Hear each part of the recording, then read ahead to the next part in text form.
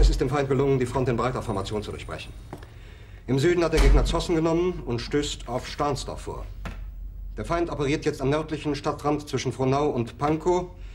Und im Osten ist der Feind bis zur Linie Lichtenberg-Marsdorf-Karlshorst gelangt. Mit dem Angriff Steiners wird das alles in Ordnung kommen. Mein Führer, Steiner. Steiner konnte nicht genügend Kräfte für einen Angriff massieren. Der Angriff Steiner ist nicht erfolgt.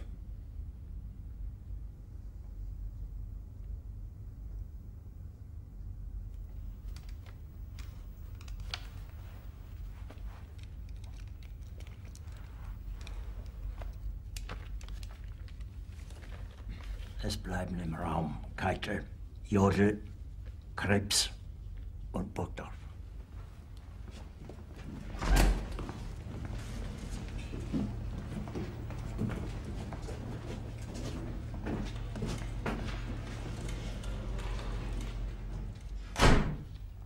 Das war ein Befehl! Der Angriff Steiners war ein Befehl! Wer sind Sie? Dass Sie es wagen, sich meinen Befehl zu widersetzen! So weit ist das also gekommen. Das Militär hat mich belogen!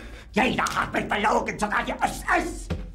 Die gesamte nichts weiter als ein Haufen niederträchtiger, treuloser Feiglinge! Mein Führer, ich kann nicht zulassen, dass die Soldaten, die für Sie verbringen... Nicht als Feiglinge! Verreiter, Versager! Mein Führer, was Sie da sagen, ist ungeheuerlich. Die Generalität ist das Geschmeiß des deutschen Volkes! Sie ist ohne Ehre! Sie nennen sich Generale, weil Sie Jahre auf Militärakademien zugebracht haben, nur um zu lernen, wie man Messer und Gabel hält! Jahrelang hat das Militär meine Aktionen nur behindert! Es hat mir jeden nur ersichtlichen Widerstand in den Weg gelegt!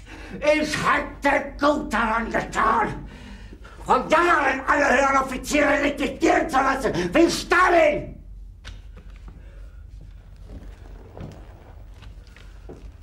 Ich war nie auf einer Akademie.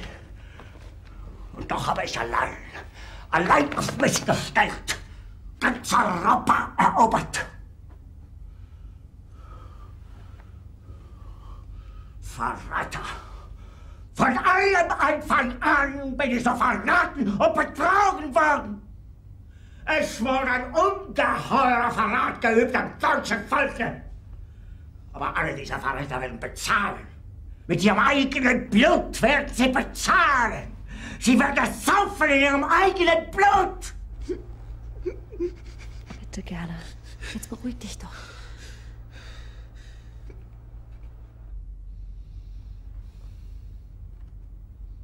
Meine Befehle sind in den Wind gesprochen.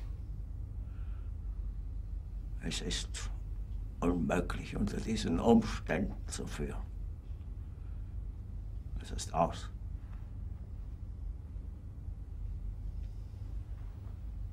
Der Krieg ist verloren.